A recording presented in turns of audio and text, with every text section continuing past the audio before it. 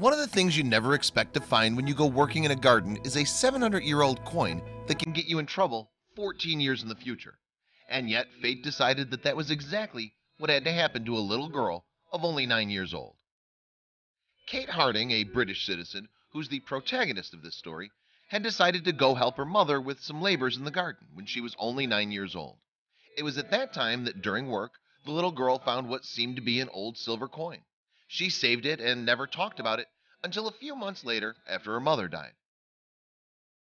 Harding, now 23 years old, approached museum experts trying to get an understanding of the history behind the coin she found when she was just a little kid. It turned out the item wasn't exactly a coin, but something similar, a piedfort to be more precise.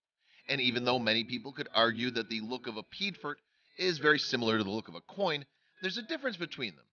A piedfort is generally thicker and weighs approximately twice that of a coin.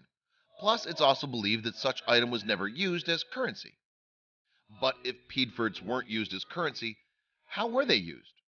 Well, it's believed they were used as guides for mint workers and as reckoning counters for officials. However, the particular piedfort young Kate Harding showed to museum experts was a representative object marking Charles IV's ascension to the French throne in 1322. Due to this reason, Miss Harding was requested to inform about the ancient treasure to a local coroner. This way, after a proper examination, the museum would be able to buy the item and everyone would be happy. But after a couple weeks, Harding decided not to do such thing and continued on with her life.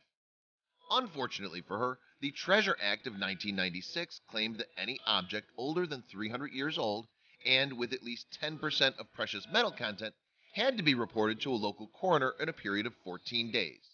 Failing to carry out such duty would be considered a criminal offense. And so, because of not wanting to report the treasure, Mrs. Harding was arrested and prosecuted as a lawbreaker.